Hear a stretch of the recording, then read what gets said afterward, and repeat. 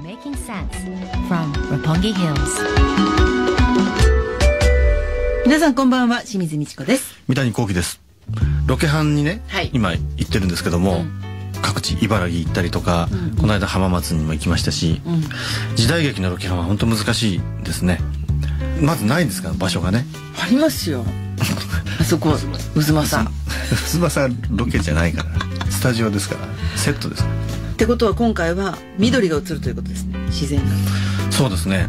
ただ難しいのが、うん。設定は夏って設定だから冬に夏の話を撮んなきゃいけないから、うん。ものすごく制限されるんですよ。だからであんまり最終的には CG でその緑を足すことになるんですけども、あんまり緑がいっぱいだと CG でものすごくお金かかっちゃうから、なるべく緑が見えない季節がわからない場所を探そうってことになってちょっと基本的なこと聞いていい、はい。CG にお金かかるってかかるわけないじゃんって思っちゃうんだけどあれは技術者がうん。葉っぱ1枚につき60円いただきますよって。それあの家庭内手工業的なものじゃないです。よものすごくやっぱ技術と、うん。あの機械も必要になってくるし僕も詳しくないです CG よの機械が日本に1台しかないとかそんな世界なのわかんないけど。まあそうなんじゃないですか。やってるんだって。来られてんの、そん。なことないんですよとにかくお金かかるんです CG って、ん。な CG なら簡単だと思うのは大間違いで、うーんでこの間は砂浜に行ってきたんですよ、うーん。浜松に、うん。あの砂丘があるっていう話でその日本三大砂丘の一あそうなの？ちっとも知らなかった、ん。じゃああともう一つ何？鳥取浜松。あと分かんない。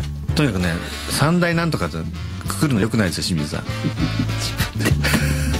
気をつけますいいじゃないですかその砂丘でで行ってみたらですね、難しいんですね。やっぱりあのどんどんどんどん自然って変わっていくから、うん。数年前まではものすごくここをエジプトに見立ててロケができたような場所だったのがうん。もうこの間行ったら、ね、減ってんの？減ってるんですよ。嘘でしょ？本当。うん、で Google マップで調べてもね確かに2000何年と去年とは全然違うんだって。あそう、うん。ショック。へえだからじゃあ鳥取もうかうかしてるともう違うかもしれない。わかんないですね。やばいかもしれないですね。ねなんかあのー川をの上にダムができると水がせき止められるじゃないですか、うんうん。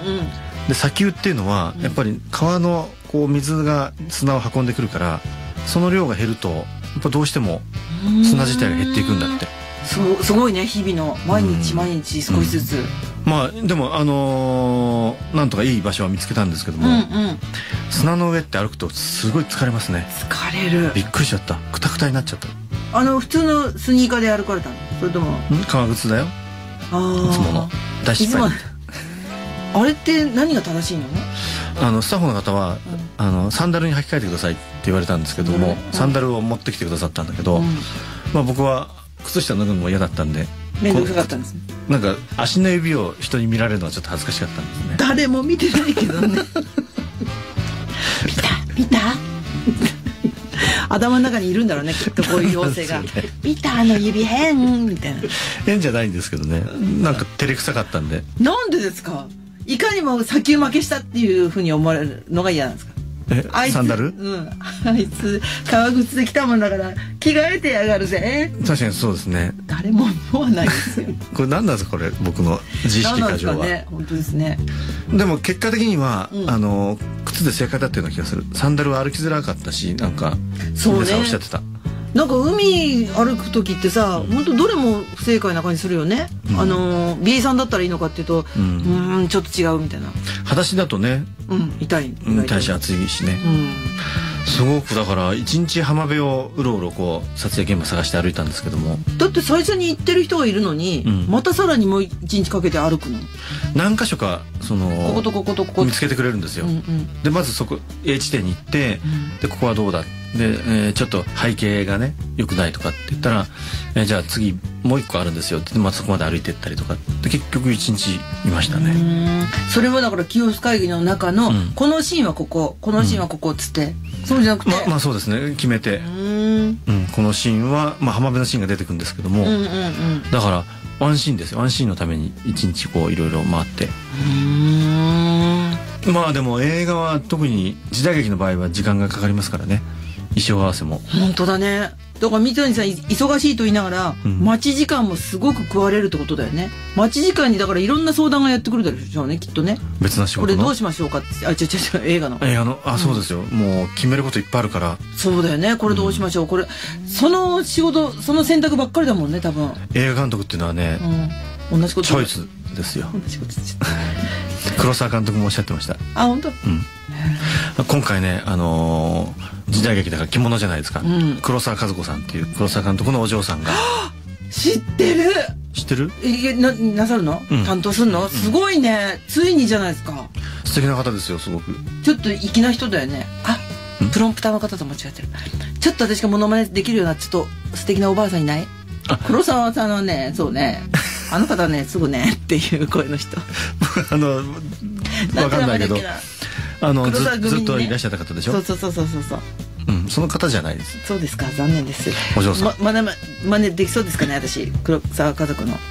森さん中みたいな そうなんです。黒沢和子っていうとね森さん中なんですけども意味が全然違う。僕の黒沢和子さんは僕の。黒沢監督のお嬢さん。うーん。あの、まあ、こういう言い方を女性にしていいかどうかわかんないですけどお父さんそっくりですね。あそう。うん。じゃあ勉強になるね。うんもう道を歩いててもこの人黒沢監督のお嬢さんじゃないかなってわかるぐらい。わかるぐらいそっくり。へえあのほったて声をどけなみたいな 黒沢監督はそんな言い方はしないし 似てもいないですけども。それはいかんみたいな感じですね。え？黒沢さんそんな声なの？黒沢監督はあのー声柔らかいの？まあ、怒鳴るとね、あのーやっぱ怖かったらしいですけど。よーい「なんだ!なな信長」黒沢監督ですよ黒沢監督あれだってあのードキュメンタリーであそうおお嬢さんがおっしゃってましたけど、これ言っとかないと、あのやっぱ怖いところだけをつないでドキュメンタリー作ってるからどれ見てもあーなるほど。怖く見えるけど実際はそれは断片でしかなくてすごく愉快で楽しい方だったって。あそうなんだ、よかったよかった。Wow. Directors talking about directors. You can't get any closer to the truth of the matter than that, can you? And the movie's always a welcome topic for us on the staff because it's really easy to follow.